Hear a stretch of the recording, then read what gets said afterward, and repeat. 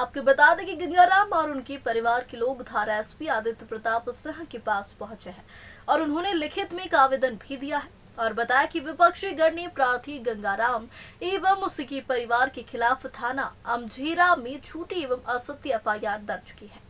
घटना के समय आवेदक का परिवार मित्तल हॉस्पिटल थार में अपने भाई शिवनारायण एवं दशरथ को भर्ती करवा रहा था। तथा एडमिशन करवाते समय भी आवेदन एवं उसका परिवार मित्तल हॉस्पिटल थार में ही उपस्थित था। हॉस्पिटल में एडमिशन कार्ड पर आवेदक गंगाराम के हस्ताक्षर है तथा हॉस्पिटल में लगे हुए सीसीटीवी फुटेज में भी आवेदक का परिवार हॉस्पिटल में ही मौजूद था।